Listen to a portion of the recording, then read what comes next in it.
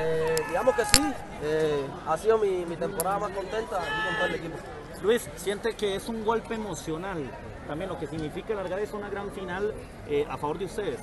Sí, eh, nosotros veníamos con este objetivo. Nosotros eh, sabíamos que, que, teníamos que dar todo en la cancha, que teníamos que extender la serie sí o sí, no había otra. Luis, es una semana larga, ¿no? ¿Qué, va, ¿Qué, van a entrenar, por lo menos ya para intentar hacer algo distinto el próximo domingo? Bueno, ya eh, lo que nos toca a nosotros ahora es descansar y seguir las órdenes de, de Houston, que es el que sabe qué tenemos que hacer. Luis, ¿cómo manejan el tema de la presión, verdad? Alrededor suyo, ya aunque se habla mucho de, de la participación que han tenido en ese torneo.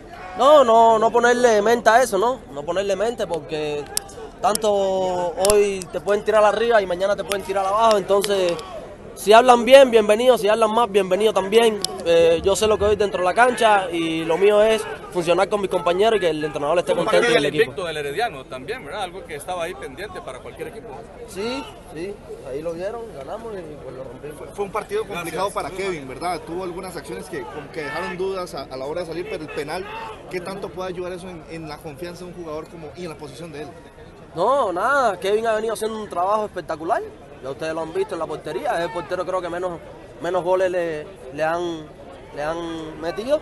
Y, y, pues nada, es un partido, todos podemos equivocarnos, ¿no? Y obviamente eh, somos seres humanos y pues nada, ganamos que es, es lo, lo, importante. Luis, ¿cómo, lo, ¿cómo, ¿cómo, te sentís? ¿Cómo te sentís, Luis? No, bien, me siento bien, un poco desgastado por el partido, pero me siento bien. Luis, ¿qué Luis. puede marcar la clave ahora, sabiendo que esto se alarga una gran final contra este equipo herediano?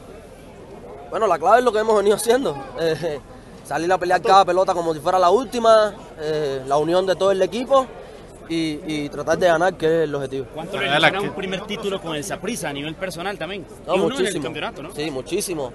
Eh, desde que desde que aquí se los di a mis compañeros, ¿no?